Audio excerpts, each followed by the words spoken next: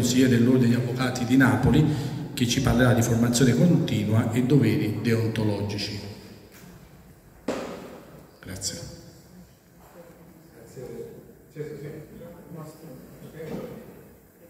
Okay, grazie. Grazie Presidente, grazie Melania. Innanzitutto voglio ringraziare voi in quanto rappresentanti di questo ordine, così come tanto decantato da Melania, quindi mi fido molto di quello che lei dice perché lei è di parte, Melania ovviamente non è, quindi, Melania è troppo buona. Però quello che dice, scherzi a parte, l'ho riscontrato molto, ehm, soprattutto nei rapporti che ho avuto il piacere di intrattenere con Salvatore, che eh, voi tutti conoscete, e quindi per il, loro, per il, suo tramite ho avuto modo di conoscere questa professione e eh, per il tramite del CUP, che è altra realtà importante, e a mio avviso l'importanza di questa realtà la evidenzia proprio il fatto che possiamo essere distinti e diversi a seconda di ordinamenti professionali diversi, ma in realtà siamo tutti professionisti, quindi forse parlare noi e voi è un, un approccio che può essere diciamo così, legato a una diversità di professionalità, ma alla fine appunto siamo tutti accomunati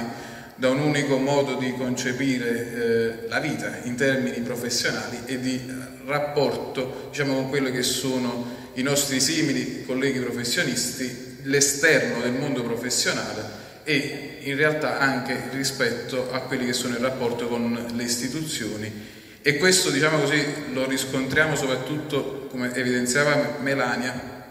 con eh, riferimento a numerosi principi che io riscontro anche con riferimento all'ordinamento professionale forense. Questo perché appunto le linee guida che contraddistinguono le varie professioni in realtà sono le stesse. Si parla di probità, di coro, tutti i concetti, rapporti tra colleghi, tutti i concetti appunto che vanno a qualificare il modo di essere un professionista. Sono d'accordo con Melania sulla forse non necessità o meglio più che necessità, non opportunità di eh, avere un codice scritto, perché in realtà quell'etica, quella, eh, quel modo di concepire è insito nel nostro modo di essere, prima ancora di, eh, di adempiere a quelli che sono appunto i passaggi formali di iscrizione ai relativi albi, noi in realtà già abbiamo quel senso quel decoro, quella professionalità, quel rispetto, tutto quello che poi ci, ci caratterizza come comunità. Io questo ho modo di concepire la professione come senso, con senso di comunità, con senso di, di eh, condivisione, perché poi la tutela della comunità è la tutela poi del singolo e soprattutto rispetto a quello che è la percezione esterna della comunità professionale. Questo spesso, soprattutto eh, in, ambito, in, ambiti più ampi come quello ovviamente forense, maggiore è il numero degli iscritti e più è difficile eh, coltivare quel senso di comunità, anche se eh, legato anche nel caso nostro a una forma mentis molto individualista, però sono sicuro che con le nuove generazioni, con, ovviamente con eh, un lavoro diverso, su un approccio diverso alla professione, si può migliorare eh, anche questo aspetto. Però noi alla fine siamo uh, un ordinamento giuridico che si basa sui codici, sulle leggi scritte e quindi è opportuno poi alla fine, è necessario che ci dotiamo di un codice deontologico, la previsione di precetti, anche perché poi, come in tutte le famiglie, la pecora nera c'è sempre e quindi c'è la necessità di eh, disciplinare le, le, la casistica, di prevedere un procedimento sanzionatorio e mi dispiace dirlo pure, la necessità di prevedere delle sanzioni perché ovviamente ogni precetto qualora non è sentito dal singolo va a quel punto, diciamo così, eh, tra virgolette imposto in maniera, eh, diciamo così, esterna, da, dall'esterno, proprio perché poi subentrano altri principi, altri concetti, altre esigenze di tutela, altre razio che stanno alla base poi dei precetti stessi, che poi vanno oltre l'essenza eh, del singolo ed è, è, quindi la tutela del, dell'essere tecnologo, dell'essere professionista e soprattutto la tutela dell'affidamento dei terzi che sono poi i nostri clienti e quindi la cittadinanza. Ed è questo poi importante, ringrazio poi l'accoglienza dell'ente del comune di Piano di Sorrento e l'approccio e quindi lavorare istituzioni pubbliche, con istituzioni pubbliche di tipo professionale è importante anche per aprirsi alla società e uscire fuori da schemi che poi spesso e volentieri creano dei, delle barriere e dei, dei, preconcetti che interrompono quella necessaria comunicazione tra professionista e, e cliente. E quindi, come vi dicevo, eh, la necessità quindi di prevedere delle, eh, dei precetti scritti, così come la necessità, e su questo io invece mi permetto di essere un po' critico, e qua forse eh, ritengo che è una necessità che eh, poteva essere evitata, perché forse non è il modo di, di fare, eh, di tutelare la, la professionalità del, del, singolo professionista. E mi riferisco ovviamente al regolamento che ha eh, riformato gli ordinamenti professionali, in modo particolare all'articolo 7 che ha imposto l'obbligo formativo, eh, regolamento ovviamente entrato in vigore nel 2013 con i regolamenti attuativi, questo perché? Perché sostanzialmente gli obiettivi che si pone, ovviamente come dicevo prima, sono di tutela del terzo, quindi garantire una, una prestazione professionale diciamo così, adeguata eh, e affidabile, questo anche per tutelare l'immagine de, dell'istituzione, ma ritengo che ogni professionista sia spinto, al di là dell'esistenza di un obbligo formativo, sia spinto dalla, dalla volontà di approfondire, di eh, aggiornarsi, di garantire poi esso stesso eh, una prestazione professionale adeguata e garantire esso stesso ovviamente una tutela anche della sua immagine professionale perché ovviamente una prestazione professionale non adeguata a quella che è l'aspettativa eh, professionale del proprio assistito, ovviamente significa ovviamente non sopravvivere professionalmente. Quindi eh, questo ovviamente è l'approccio critico proprio perché eh, anche e soprattutto con riferimento all'ordinamento professionale degli avvocati eh, c'è il piacere di partecipare e l'idea di creare diritto, creare eh, creare nell'ambito della propria professionalità che esula appunto dall'esistenza di un obbligo. Però l'obbligo poi, come dicevo prima, è necessario in alcuni casi, però quando c'è la possibilità che sia il mercato a selezionare il professionista, quindi io sono più dell'idea che forse il miglior obbligo deriva appunto dalla coscienza personale, dall'istinto di sopravvivenza. Questo perché? Perché poi ovviamente si, eh, ci si imbatte poi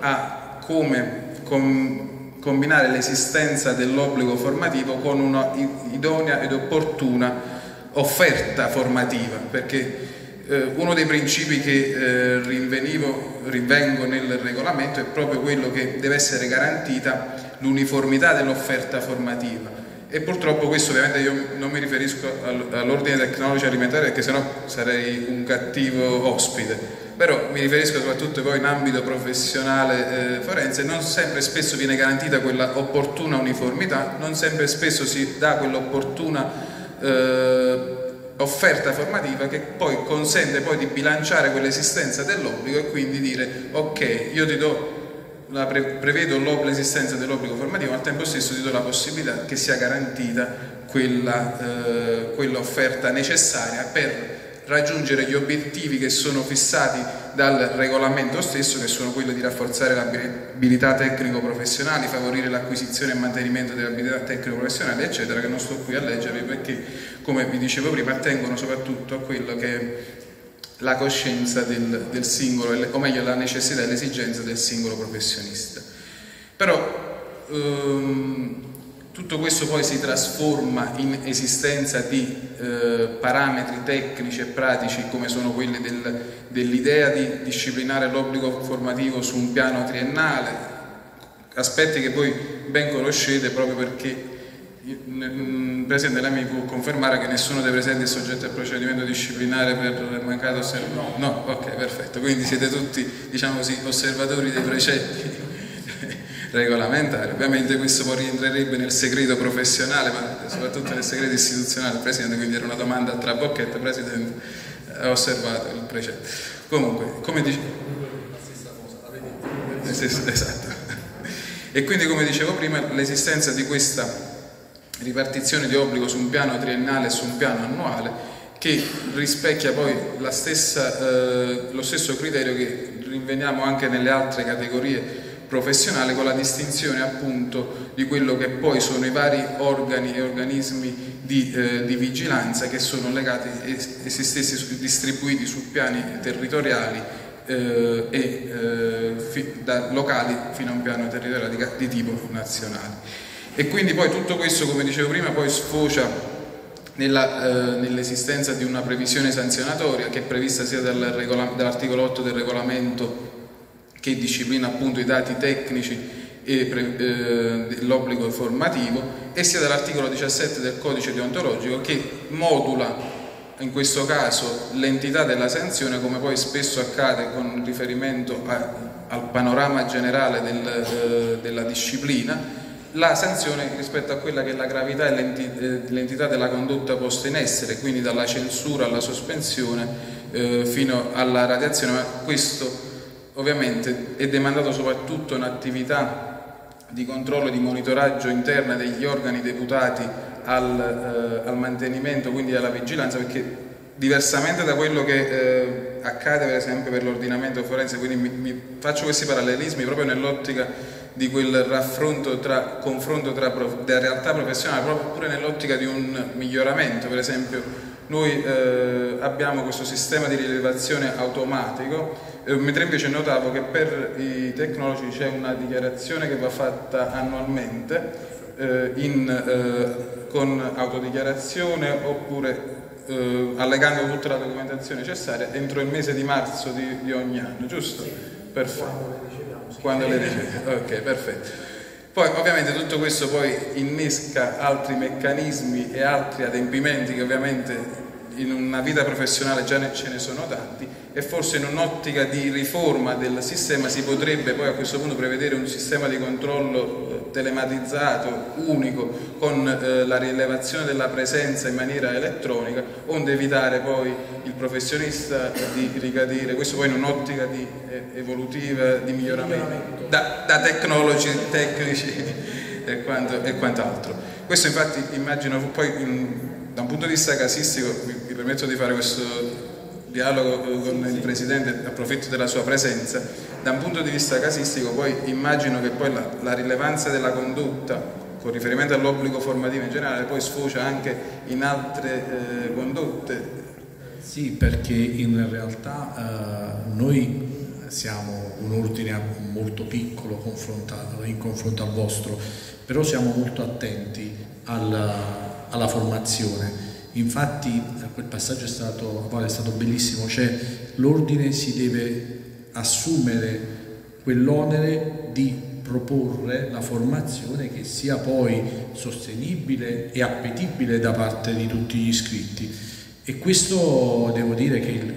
l'ordine lo fa, lo fa molto bene, lo fa molto bene perché si è strutturato sia, allora, e pensare che quasi tutto il gran parte, quasi tutto no, ma gran parte certamente della proposta formativa che propone l'ordine è gratuito.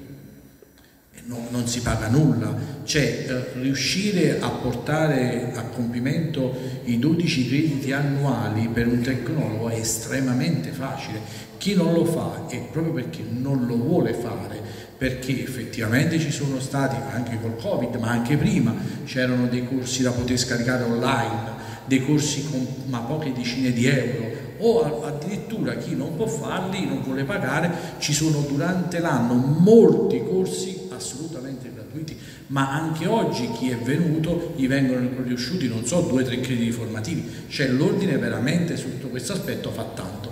E purtroppo, giustamente come sottolinea l'avvocato, forse eh, ci sono un, un numero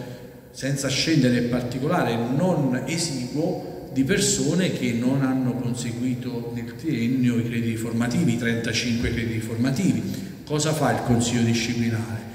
Eh, noi facciamo come buon padre di famiglia, chiamiamo il singolo iscritto, associato e cerchiamo di capire come possiamo risolvere, ma lo possiamo fare perché effettivamente c'è uno spirito voluto da, da Salvatore Velotto e noi lo portiamo avanti perché in realtà il Consiglio disciplinare non si sovrappone certamente al Consiglio regionale, ma collaboriamo e questo ci porta a, ad avere un rapporto uno a uno con, con gli iscritti. Però anche così non è semplice e purtroppo poi ci sono degli sbarramenti che dobbiamo attuare nella vita eh, ordinistica se qualcuno eh, ambisce o ne fa parte perché poi non può farne parte. Sì, assolutamente ritengo fondamentale che ci sia un dialogo interno fra eh, le istituzioni, quindi Consiglio di settore disciplina e Consiglio, e Consiglio dell'Ordine.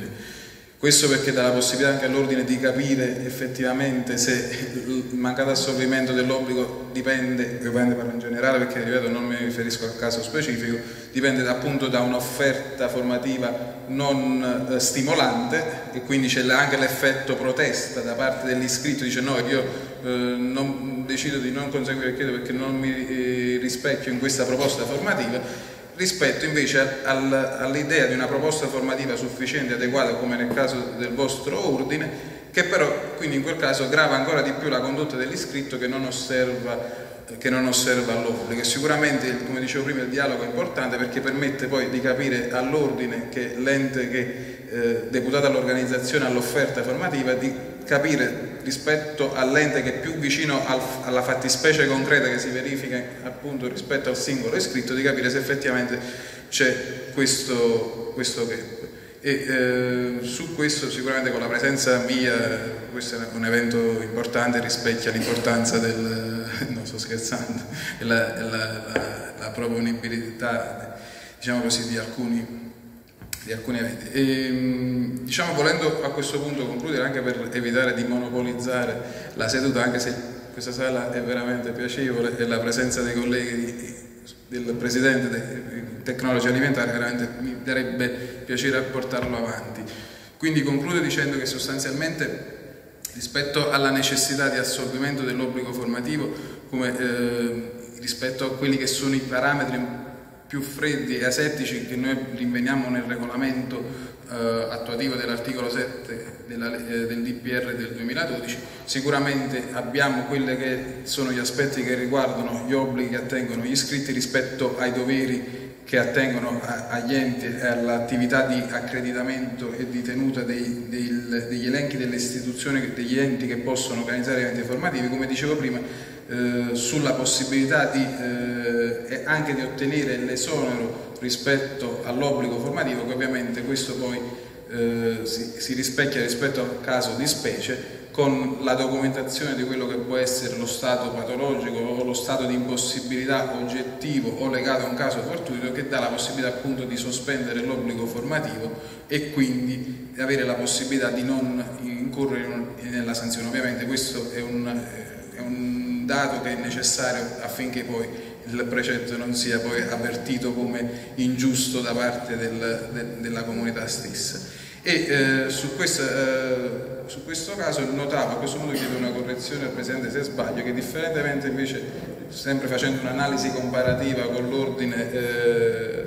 forense, qui non è prevista l'esenzione in caso di anzianità professionale, per esempio, noi nel caso degli avvocati, e questo potrebbe essere una, un dato critico, mi prende impreparato perché credo che non, no, no, no non c'è, non c'è, non c'è, non c'è. Però, eh, perché eh, non lo ricordo, infatti non c'è. E questo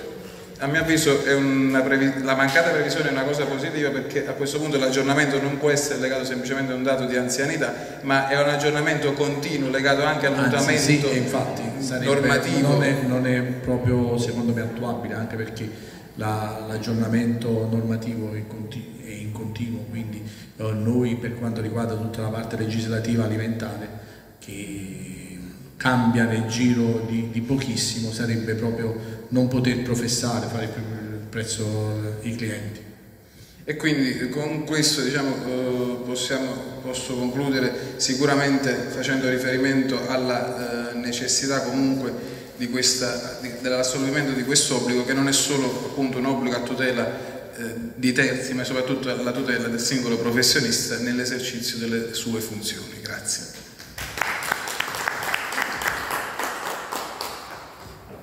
Grazie all'avvocato Carmine Foreste, consigliere dell'Ordine degli Avvocati di Napoli. Continuiamo.